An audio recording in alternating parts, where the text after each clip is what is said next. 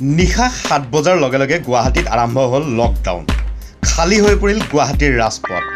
পূৰ্বৰ লকডাউনতকৈও এইবাৰ অধিক কঠোৰ হ'ব আৰক্ষী প্ৰশাসন। এয়া গুৱাহাটী মহানগৰীৰ বিভিন্ন স্থানৰ নিশাৰ দৃশ্য। সষ্টম হৈছে গুৱাহাটী আৰক্ষী। ঠায়ে ঠায়ে বহিছে আৰক্ষীৰ তালাচী। কেইবাগৰাকীও শীৰ্ষ আৰক্ষী বিষয়াও নামি পৰিছে ৰাজপথত। তন্ন তন্নকৈ পৰীক্ষা কৰা হৈছে সান্ধ্য আইনৰ সময়ছোৱাত ৰাজপথলৈ ওলাই অহা বাহনসমূহ। লকডাউনৰ নিয়ম ভংগ কৰি বিনা কাৰণত ৰাজপথত ওলাই অহা বহুতৰে বিৰুদ্ধে আৰক্ষীয়ে লৈছে ব্যৱস্থা।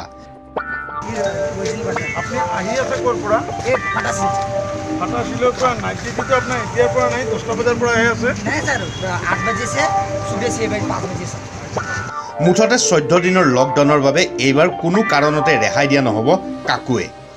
অৱশ্যে ইয়াৰ মাজতে অত্যাৱশ্যকীয় সেৱাৰ লগত জড়িত বিভিন্ন সেৱাৰ ক্ষেত্ৰত কিছু শিথিল হ'ব প্ৰশাসন। Bureau' report news five Assam Guwahati.